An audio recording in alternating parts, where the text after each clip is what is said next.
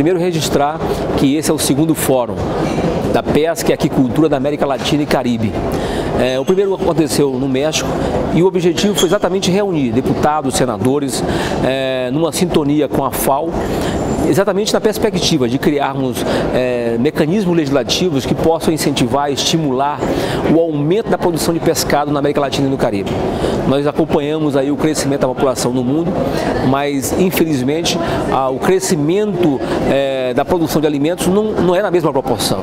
E nesse sentido entendemos que a, a, a produção de peixe, o aumento da produção de pescado pode ser uma saída para ajudarmos a diminuir a fome no planeta. Nesse aspecto, esse segundo fórum é, pretende exatamente consolidar as bases do primeiro encontro realizado na Cidade do México, criando sugestões e perspectivas antenados com esse novo momento, COP21 em Paris, que discute as mudanças climáticas e que pode afetar também sobremaneira a produção de peixe em todo o planeta. Nesse sentido, nós estamos aqui hoje, é, nesse segundo fórum, estabelecendo critérios. Primeiro, para colocar na merenda escolar a obrigatoriedade também de colocar o pescado. E segundo, definir mecanismos legislativos para minorar os efeitos climáticos também sobre a produção de pescado.